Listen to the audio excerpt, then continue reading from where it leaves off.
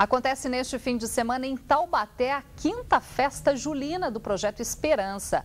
No sábado e domingo, o público vai poder conferir danças, comidas e brincadeiras típicas da época. O evento acontece na sede do projeto Esperança, que fica na rua Brasilina Moreira dos Santos, no bairro Jardim Sônia Maria.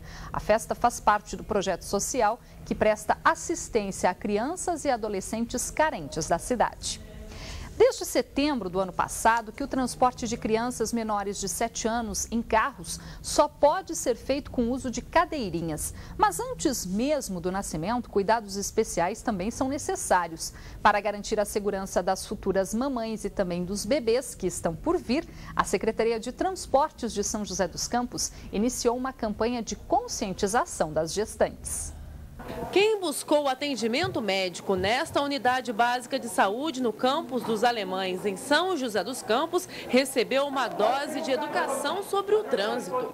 Com muito humor e reverência, esses artistas ensinaram que crianças precisam utilizar equipamentos adequados ao andar de carro. Dona Cícera relembrou os cuidados que precisa ter ao transportar os netos. A cadeirinha já não sai mais do banco traseiro. Duas cadeirinhas, só cabe mais uma pessoa. Uma resolução do Conselho Nacional de Trânsito, que entrou em vigor no ano passado, determina que as crianças até 7 anos e meio devem usar equipamentos de segurança adequados. Caso o motorista desrespeite a lei, ele será multado e o carro será retido. O projeto Maternidade da Secretaria de Trânsito de São José dos Campos quer educar principalmente as gestantes. A gestante que entra dentro do ônibus, ela deve alertar sempre o motorista que ela está entrando. Por quê? Para o motorista esperar que ela para que ela passe na catraca com cuidado por causa da, da barriga. O ideal é que as pessoas deem um lugar para a gestante, independente se é o lugar reservado ou não, para que ela viaje sempre sentada. E a gestante motorista, como é que ela deve colocar o cinto de segurança? O importante é que a gestante motorista, ela prenda o cinto, a parte de baixo do cinto, sempre embaixo da barriga. Nunca o cinto deve estar no meio da barriga da gestante dentro do carro.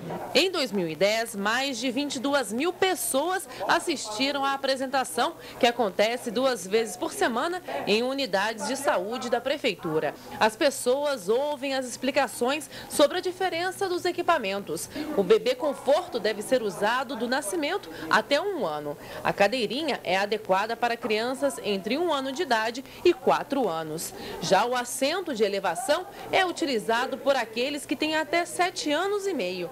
Dona Sueli espera pelo segundo filho e aprendeu como prevenir acidentes de trânsito com as crianças. Toda mãe tem que levar seu bebê na cadeirinha, né? Senão o bebê fica ali tudo solto, pode causar alguma lesão né, na criança. Apesar da campanha, ainda tem gente que ignora, né? O Band Cidade termina aqui. Participe sempre com sugestões de reportagens no site da TV Band Vale na internet. Você também pode participar do, pelo canal de voz Ligue Band. O telefone é o 9711 1313, está aí no seu vídeo, ou então via torpedo. Basta mandar uma mensagem para a gente, iniciando ela com as letras BV e enviar para o número 72250. Vem aí, um Vale Urgente, a gente volta a se encontrar logo mais no programa Falando Nisso. Até lá!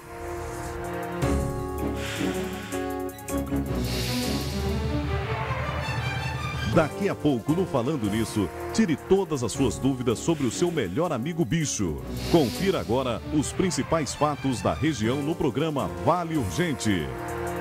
Olho na tela, olho na Band.